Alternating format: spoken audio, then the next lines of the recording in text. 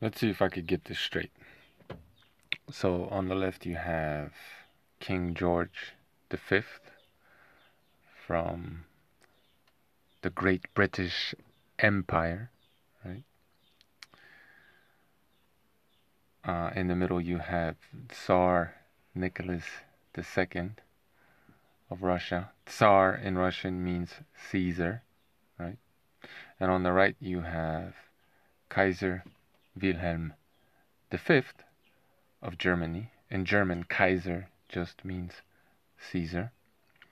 So you have the British Empire on the left. Brits are, so they say, right? The English language is a Germanic language. So it's eh, essentially the same people. We're talking about ruling classes now, right? Whomever they've conquered, right? Uh, those people's family trees, genealogies, are probably very, very different, right? By and large, anyway. Even though there may be some similarities and some relationship to their king, oftentimes there isn't any. So that's the king on the left, George. Uh, then in the middle you have, um, you could say, insofar as legacies are concerned, right? Not necessarily same exact political structure, but uh, the heir of the Eastern Roman Empire, right? Maybe only in ideology, Byzantium, right? That's why he calls himself Caesar. And then on the right, you have the Holy Roman Empire, Caesar, Kaiser, right? The Second Reich. Hmm. Third Reich. Now we got the Fourth Industrial Revolution. Funny how these things tend to go from A to Z. Anyway, these three guys here are all first cousins who allegedly went to war against one another. Obviously, I'm oversimplifying the conflict. Went to war against one another, which today is known as World War One. Because some Austro-Hungarian Habsburg was he descended from the Habsburgs, heir to the Austro-Hungarian throne, who was really like the third guy in line, but because one of his older brothers uh, committed suicide, and the second guy said, No thanks, I don't want to be king, I guess. And so, even though he was terminally ill, this is the Franz Ferdinand, Archduke Franz Ferdinand, right? He got assassinated by some Serb in Sarajevo, and because of that, the whole thing spiraled into World War III, right, between these three first cousins. Now, if they were so mad about one of their homies, right? I guess, getting killed, why not just find the guilty party and hang them, right? Why do tens, of, was it hundreds of millions, tens of millions of people have to die? Why, why do, why do all these people have to die, right? Can't, can't you guys like figure this shit out amongst yourselves? And why, why aren't you all why aren't you fighting each other? I mean, this is the greatest conflict the modern world has ever seen. You're all engaged in it, and not a not a drop of blood from any of you. What? I thought you was fighting the war, but you know, of course they're not, because it's all family. Now imagine, imagine today if Biden Putin and Zelensky were all first cousins, right? Nobody would take the war seriously, right? So I guess these guys here had to, you know, fake a bunch of assassinations, maybe um, have some of their, um, you know, lower rank, like the third in line guy from a family that really wasn't all that connected, perhaps, and was going to be the sacrificial lamb maybe had some of those people eliminated, right? Because they were a little bit too inbred and too distantly related. And, you know, ultimately it's all about one ring to rule them all. So, you know, they they thinned the herd maybe, right? Called some of the ballast and kind of stepped into the shadows and let, you know, puppets uh, take care of the dirty deeds on the ground as mass media was, you know, being developed, growing in reach and expanse. I guess that's one and the same. And people were more informed about the goings on, right? Like how many people like the peasants or the soldiers that went to war in First World War, how many of them actually knew that these three guys were cousins? Right? First cousins. I mean, shit, the first two look like twins. Is it all the inbreeding or were they really? Who knows, right? Doesn't matter. It's all one big family. Right? So these people probably retreated into the background a little bit. Some of them got off, you know, because they were in the way. Uh, some of them just maybe gave up some of their power because as the merchant class, uh, you know, started printing money, they made they they naturally got a ton of control too. So so these some of these people had to take you know give up some of their power, take a step back, but you know eventually they were re- replaced by in some cases oligarchs or, or certain organized groups. Uh, they were probably also assimilated into some of these groups, societies. I mean, all three of these guys were um, the cross of Malta, right?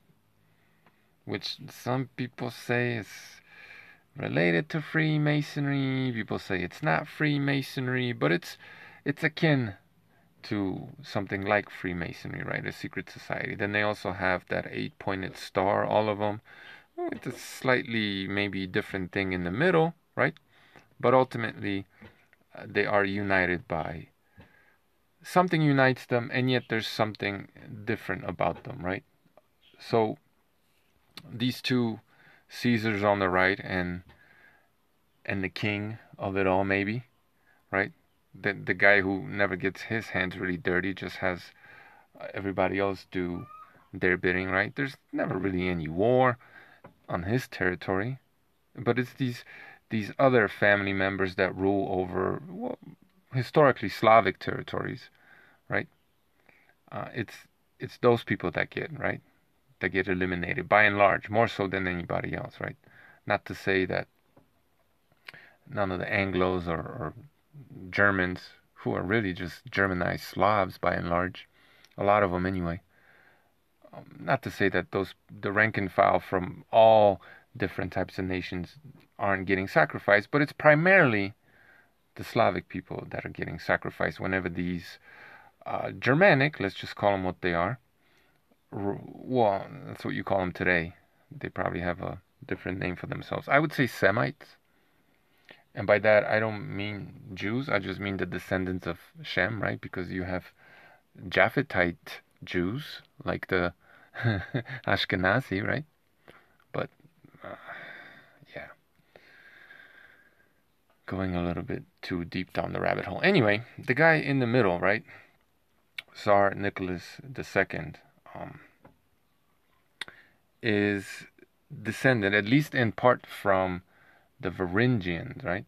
The Rurikids or the Vikings, broadly speaking. So what you would today consider and I'm again I'm talking about the ruling classes because whomever they may have conquered and imposed their will on aren't necessarily right in large part they are right because they need rank and file to help them conquer but it doesn't necessarily mean that they have the same genetics right even if they were assimilated into that culture. Anyway, um, those were Semites or the descendants of um, Sem or Shem. Because ultimately, all of us, white people, we're all brothers and sisters. We all come from the same family, whether you want to call them Jews or Arabs or Europeans, right? Not to say that again there hasn't been intermixing going on and and other uh, races mixed into these. Like you know, in Russia there's the Asian influence. In uh, North Africa, there's obviously the Black African admixture. yeah, this is gonna be a long and convoluted video, especially if the dogs keep interrupting. Shut up! Anyway, where was I? Lost my. Oh, yeah, the Varangians, or more precisely, the Vikings. And if you're at all confused about what I'm talking about, calling these people Semitic, right? I'm not talking about religion, I'm talking about bloodlines. Um, well, go listen to like Old Norse language, or how about Welsh, even today go listen to Old English, right? Go listen to um, Irish or like Proto Irish, whatever that was, right? If you could find someone reconstructing the Celtic language, go listen to that, right? And then go listen to German. And then go listen to Hebrew or any of the Arabic languages. And what you hear is the, you know, those all of those guttural sounds, right? Versus, and yeah, I'm oversimplifying. Versus the Japhetites, or the people that came out of the Caucasus overland, right? Uh, when they speak, is more like shh, shh, it's more flowy and softer, right? And if you follow, this is real simple. If you follow, go listen to the languages uh, spreading from the Caucasus up and into Europe overland versus the languages that spread from the Caucasus over sea to North Africa, obviously, and um, up into Germany and, and maybe around Europe over water into uh, the British Isles, right? Go listen to all of those languages before they. A, a lot of that sound is still preserved to this day. Like, for example, uh, in Liverpool, right? The Scouse accent. Go listen to the Scouse accent and tell me that doesn't sound Semitic, right? And then there's and then there's also the fact that, you know, those people by and large had runes, which we know came out of um, just giving you proof, okay? If you have other proof, present it, please. We know runes came from um, the Phoenician alphabet, right? Phoenicians are Hebrews or Proto Hebrews, right? They're Semitic people. They were very well known for. Um, they were seafaring people, right? That's why they dominated the Mediterranean, North Africa, and then went up, you know, to the British Isles or Scandinavia, right? Those were the Vikings uh, those were seafaring people versus the descendants of Japhet, right? The people that walked over, you know, they um, um, they domesticated the horse, right? They're the steppe people from Eurasia, I guess you could say, and they came overland and you know settled uh, those parts of the world. Those are the people that Slavs today draw direct descendants from, come from, right? That's by and large, and again, I'm oversimplifying, that's the R1A haplogroup. And the Semitic one, again, I'm not talking about Jews as you know them today, right? Because the Ashkenazi Jews, the Levites, are R1A, which makes perfect sense because they're the Khazars, right? They came over land and they converted to Judaism. I'm talking about Semites. Different thing. Like I, this has been confused for a reason, in my opinion. These these distinctions, but the truth is in the Bible. It's all in there, right? We're all descended from same daddy, basically. And these three sons he had. Anyway, you look at the structure of Hebrew. Uh, I'm not talking about because uh, it's easy to change the sound of the language, right?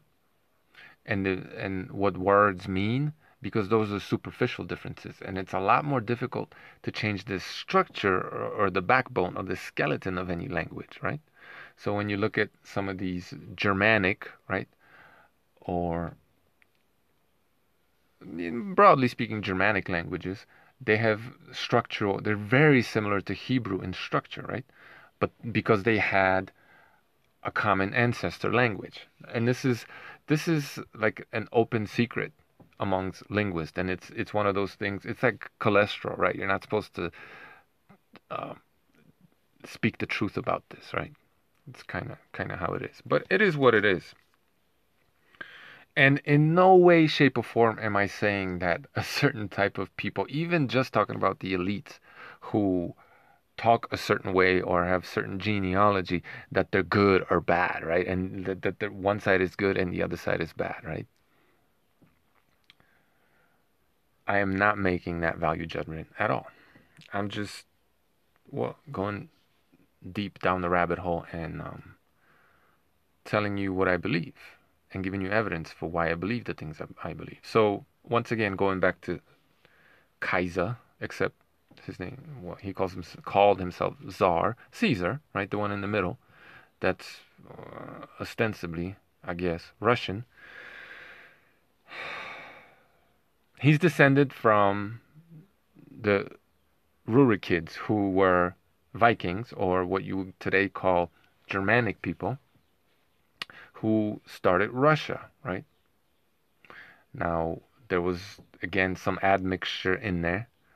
And I, I don't know their family trees that well, but he is indirectly, I think by maternal line, I'm not sure exactly, descended from the German, listen to me closely now, the Germanic people or Vikings that created what we today call the modern state of Russia?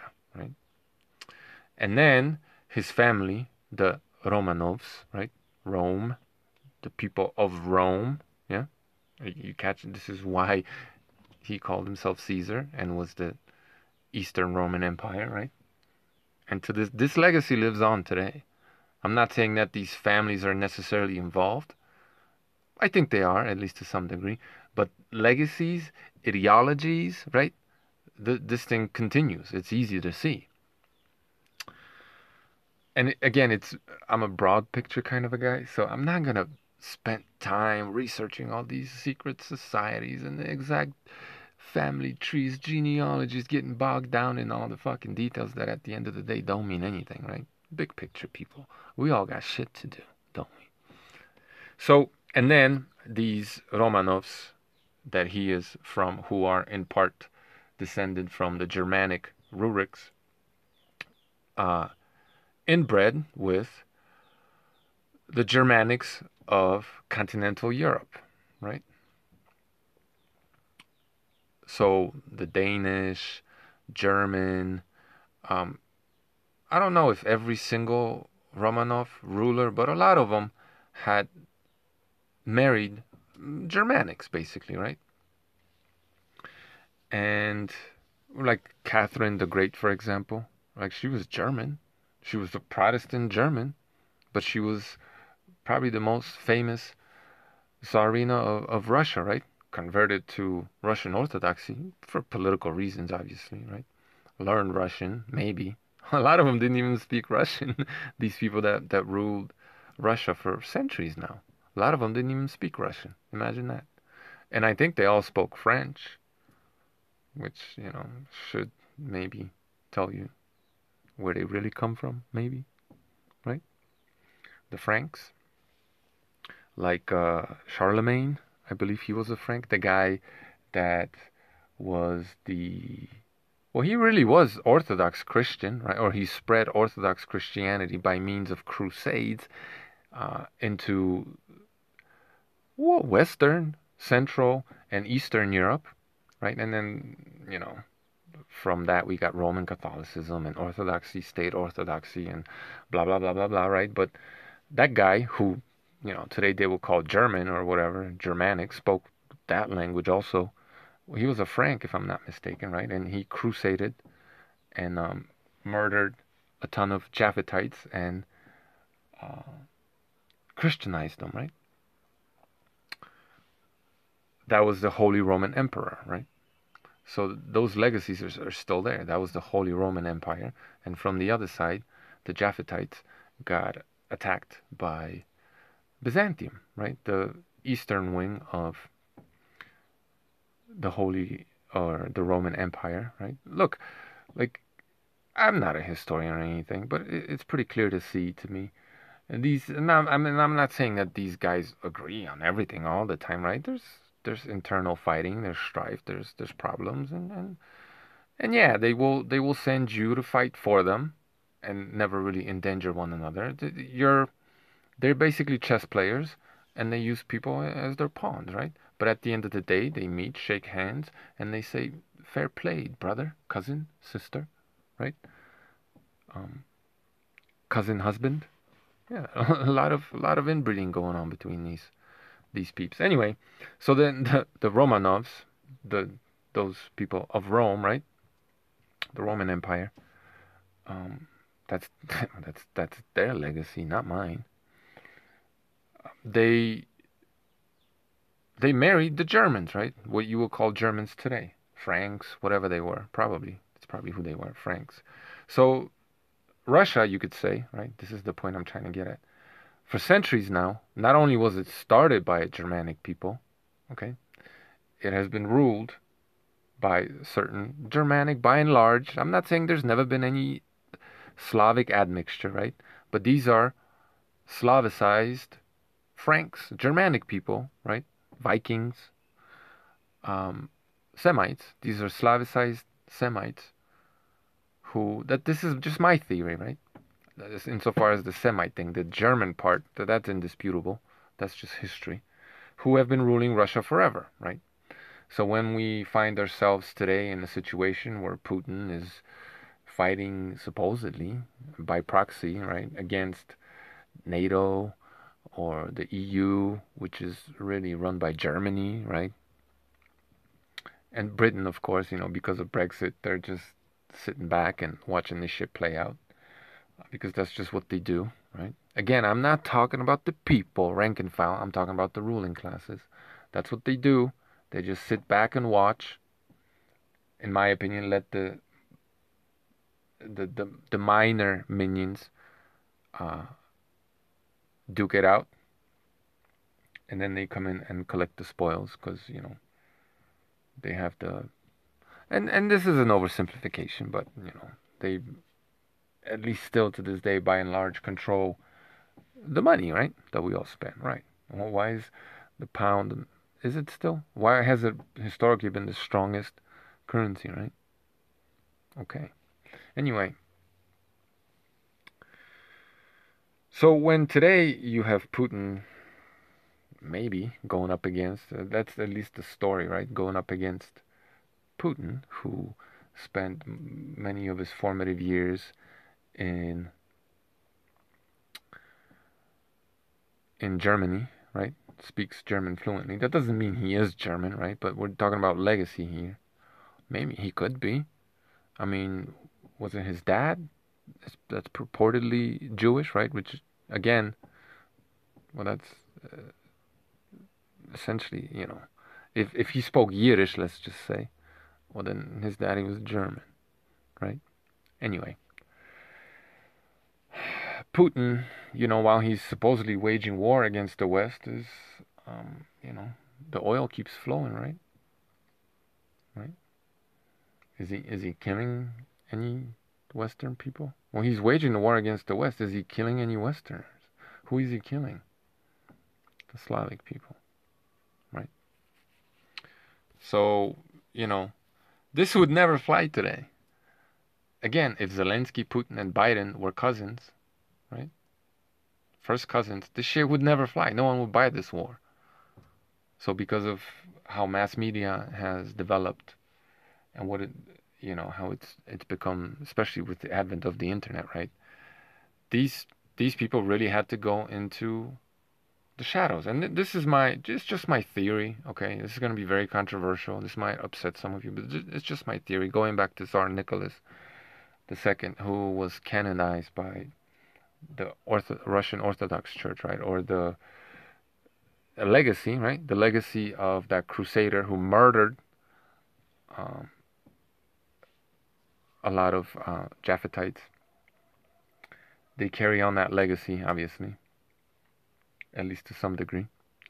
Um, after this, Tsar Nicholas II, you know, quelled a bunch of uprising at one point, what's called a Bloody Sunday, a peaceful protest, right, of Orthodox priest, led by an Orthodox priest, nonetheless, right, quelled it by means of, you know, bullets and such. killing a whole bunch of people, murdering a bunch of people during various uprisings, right?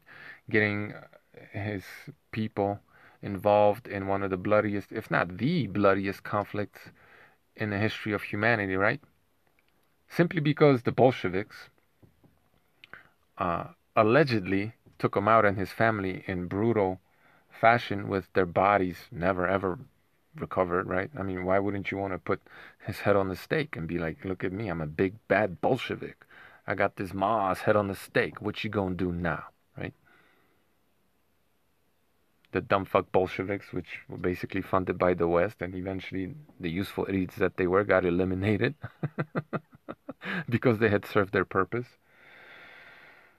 Um, you know, today when we have Osama, right? killed and thrown into the ocean, a lot of people call bullshit. They're like, where's the body? Right? So mm, I'm skeptical. I'm just going to say that. I'm skeptical that he was murdered. Maybe he just went into hiding and was pulling strings from behind the curtain, right? Shadow government. Was one of the people, right? Gave up some of his power, shared some of his power, was allowed to, you know, retire unscathed, maybe. They never recovered any of the bodies, and their family's still alive and well, right? And they're very fucking rich. So, right, but after he was supposedly, or history says he was, brutally murdered by the Bolsheviks, despite the fact that, you know, he murdered, or at his behest had murdered, you know, Orthodox uh, father, at least one, and, you know, Russian Orthodox people peacefully protesting, was engaged in quelling peasant rebellions and killing thousands and thousands of his people and then throwing them into into this world's bloodiest conflict ever where millions upon millions of people died right? This guy was canonized and became a saint according to the you know Russian Orthodox Church go figure and now people revere, revere him right the guy that turned the guns on his own people now now all these people revere him like he was some kind of a great person. Even though if you peacefully protested in front of his palace, that was, that was a bullet in your ass, right? He's a saint. This is why aren't we talking about this people? How is this okay, right? How is this okay? Like, because Bolsheviks bad? Yeah, fuck yeah, they're bad. How does that make him good, right? But you know, if you're getting butt hurt, then you're probably brainwashed, and you don't give a fuck about humanity ultimately. You can't. If you're getting butt hurt. Anyway, maybe he was indeed brutally murdered, and because he had served this purpose and it was time to go, right? One ring to rule them all. Ultimately, that's what this is about. You can't have three Caesars. But there it was, right? Another Germanic person, if only in legacy right? sending all these Slavs into all these wars where Slavs are killing Slavs. Right? That was the First World War. Fought mostly in the Austro Hungarian Empire, right? That fucking whatever the fuck that was. Well, what that was was probably 80% Slavic, right? And that's where the war happened. So, you know, who died? Who got eliminated mostly? Well, the R1A haplogroup got eliminated, right? The people that came over into Europe on land, right? On horseback. The Huns, as uh, what was that fucker's name? Churchill. That's what Churchill called them, right? The Huns. We gotta go get the Huns because that's who those people were, right? The Slavs, and so on and so forth. Proto Slavs, the descendants of the people of the Eurasian steppe, right? the atamans, the hussars, right? Right, those people. Who, in, in the Second World War, some of them went up against tanks on horseback. Crazy mas that they were. So, then we had World War II, right? Which was Germany and guess who else? Russia, right? Attacking Central Europe, right? A country where the R1A haplogroup, at least insofar as Europe is is concerned, today is the most prominent who knows how many more of those genes were were in that. Look, these people are eugenicists, right? We all know this. These people will inbreed the fuck out of themselves in order to keep their bloodlines pure, right? These people give a fuck. That's why I'm looking at this from I'm looking at the genetic component here, and that's hard to ignore, right? That's important to them too. I'm not saying that's the only reason, but that's also very important to them. So once again, you had the descendants of the Bolsheviks, people um, aligned with the Bolsheviks who followed Karl Marx's right, a German or Germanic guy's ideology, right? Spread that into into Russia. Um, probably were at least to some degree from that people, right? Those people, Stalin specifically, who carried on that legacy? Once again, teamed up with Germany and attacked Central Europe.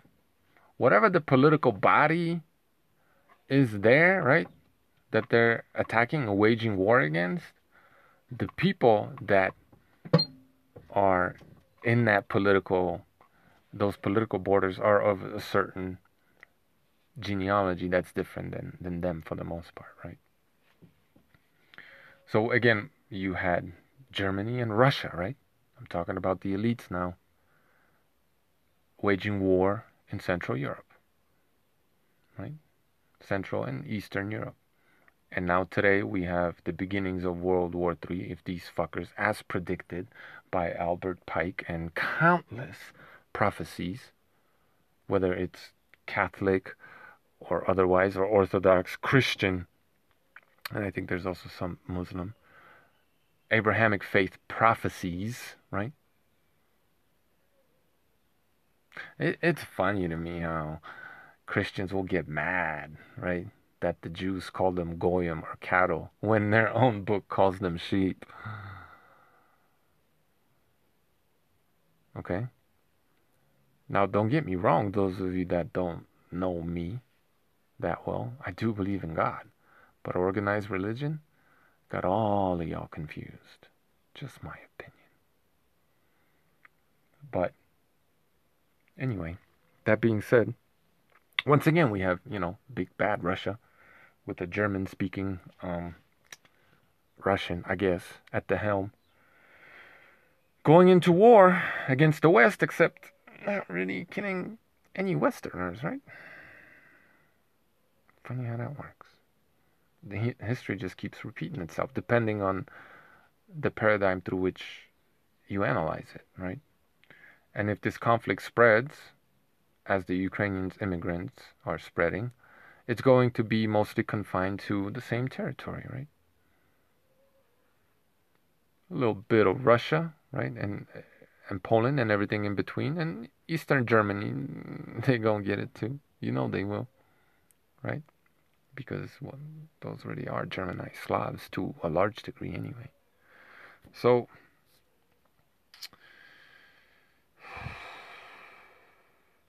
this this whole war we have happening right before us doesn't make any fucking sense. And it, just on so many levels it doesn't make any fucking sense. So, uh, delegation. I think it was the Polish prime minister.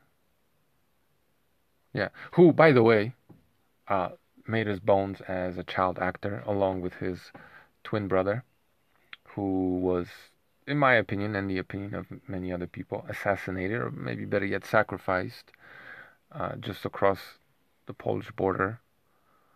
Um, by some people will say Putin, but Putin's not all powerful. It's likely that it was uh, the GRU that nobody talks about. Everyone knows the KGB, right? And they'll talk about the FSB, fewer maybe. But GRU, I don't hear any Western analysts talking about the GRU. Those fucking Freemasons, right? It is what it is. Anyway, so that guy, right, a child actor, who imprinted himself on the minds of the Polish people by first and foremost being uh, an actor, right? Just like Zelensky, just like Trump, just like Reagan, just like well, maybe not Trudeau, but from what I hear, he was a drama teacher, right? All these essentially actors, right? People who were trained, professionally trained to act because they're minor players who have their part to play in this theater, right? Uh, Jesse Ventura, Arnold Schwarzenegger, right? This this model has been used all over the world to, to get certain people in power and then you know manipulate them, uh, steer them a certain way, and then get rid of them when need be. Zelensky, right? Obviously, an actor who, for those of you that don't know, uh, was um, had a TV series produced by some Kolo- Kolomoisky guy. I think that's his last name. Some uh, Ukrainian Jewish oligarch. You know, became uh, a president on, on national TV, blah blah blah, in this TV series with the promise of you know making Ukraine great again, so on and so forth. Um, and then got his political career sponsored by that same Kolomoisky, whatever the fuck his name is. And lo and behold, became president, right? Because the Ukrainian people were brainwashed, I guess, and just fucking desperate for something different, maybe. Maybe someone who wasn't part of the, they didn't think was part of the clique.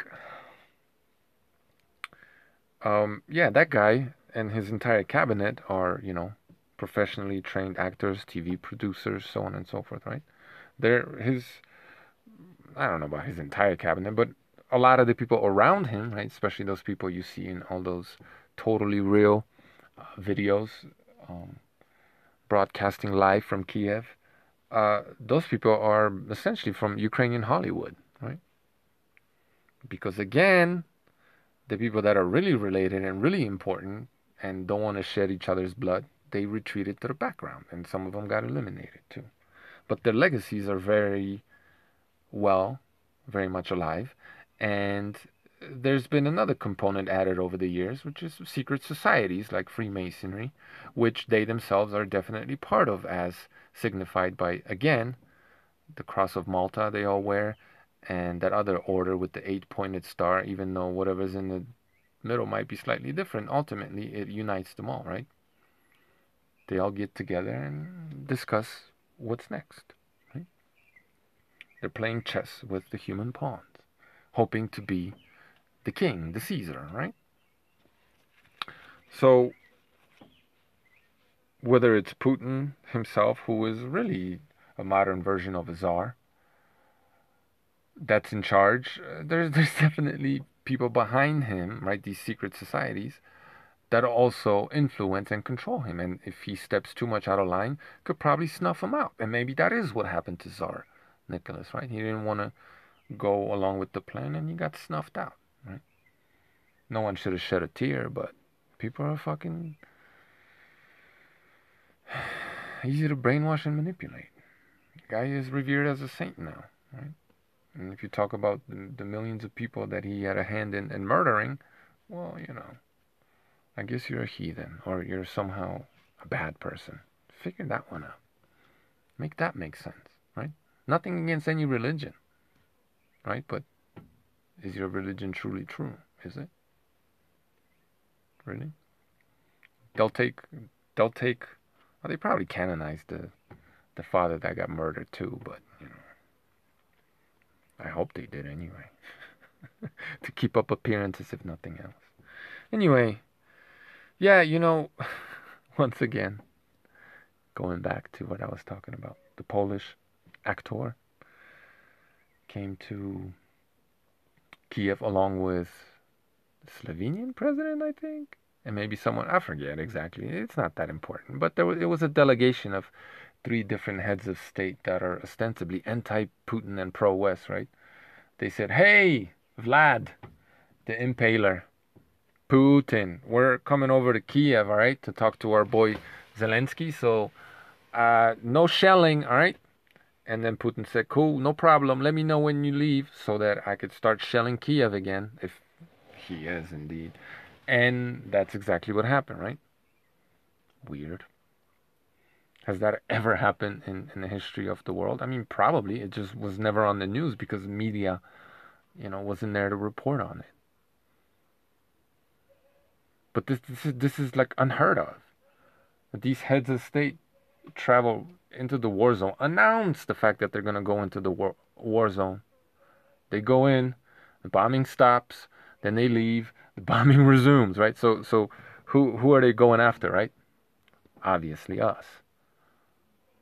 Not their own people, at least you know, not for the time being. I'm, I'm not saying these are like very, very important people, but they're connected, and at least for the time being, they're useful, so they get to live, right?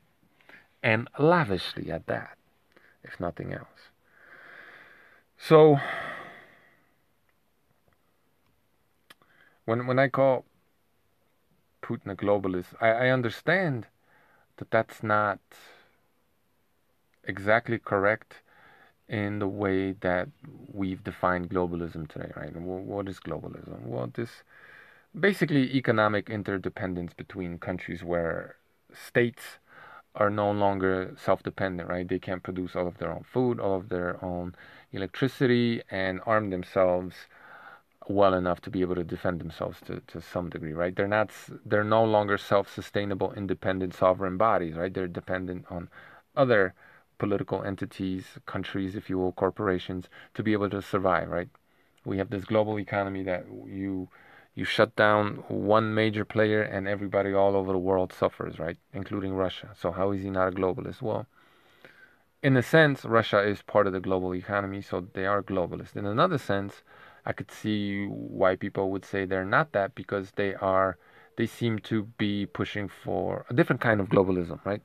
A globalism that where the Russian entity, whoever's in charge, is at the helm of, right? It is in charge of. Again, at the very, very top level, these people are fighting against one another, trying to, you know, be that one ring that rules them all. So there's no doubt about it. But, you know, so whereas I stated that Russia isn't exactly dependent, it's still dependent on the global economy. Well, I mean, they're still very powerful and, and independent in many ways. They have a shit ton of energy. They have a very, very good, strong army. At least that's what they tell us.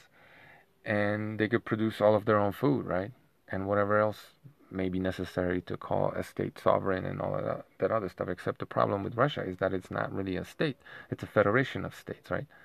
So, what Russia had to do in order to become that which it is, so independent in some sense, it had to subjugate a whole bunch of people and steal their shit, right? How are how are the people doing in some of these other republics? How much money are they making? What's their standard of living? Can they support themselves on their own? Right. So, it, in a sense, it is a globalist entity, or it's it's the step necessary for globalism, right? It, it's the step in that direction. It just has a different Russian flavor to it. That's what I meant to say. So I just wanted to clarify that. But at the end of the day, all these people have the same goal in mind. This is the point of this entire video, which is globalism or one huge empire to rule the entire world, which is why they're agglomerating, is that the right word? And subjugating all these people around them and bringing them into the fold, right? And at the end of the day, when there's I don't know maybe just two of these entities left in the world, there'll be there's going to be the final boss battle, and well that's the goal anyway, right? And then you'll have that one world government, right? So seeing Putin at the World Economic Forum, whether he agrees with everything to a T, uh, that that they or the model for this globalism whether he agrees exactly with the model that they have, ultimately, at the end of the day, the reason why he is there is obviously because he's interested in the same things that they are interested. It's not exactly uh, the exact same model by which it will be brought about, right? So at the end of the day, all these people have the same goal in mind, which is globalism. But at the end of the day, the end, the end, the end of the day, day, day, they want to be the one who calls the shots what this globalism looks like and sits on the throne and tells everybody else what to do right Is this simple enough for everybody to understand? I doubt this will dissuade anyone from falling in love with these people and worshiping them as if they were saints or some kind of macho man. Sending a whole bunch of kids into war, right? Macho man. Why? Because they uh, CGI'd photoshopped images of him riding a bear, bare chested. That makes him a man? Go fuck yourself. Thanks for watching.